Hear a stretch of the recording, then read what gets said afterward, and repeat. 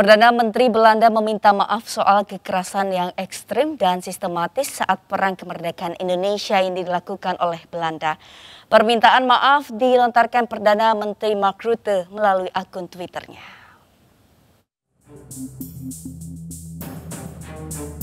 Perdana Menteri Belanda meminta maaf soal kekerasan yang ekstrim dan sistematis saat perang kemerdekaan Indonesia yang dilakukan oleh Belanda. Permintaan maaf ini muncul setelah penelitian yang mengungkap kekerasan yang dilakukan Belanda saat masa kolonial di Indonesia.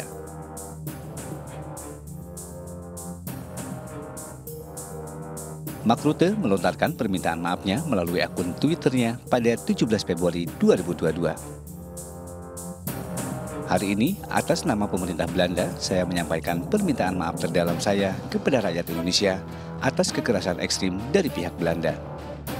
Permintaan maaf Perdana Menteri Rutte kali ini merupakan pengakuan pertama Belanda bahwa ada kekerasan brutal yang disengaja secara efektif selama perang.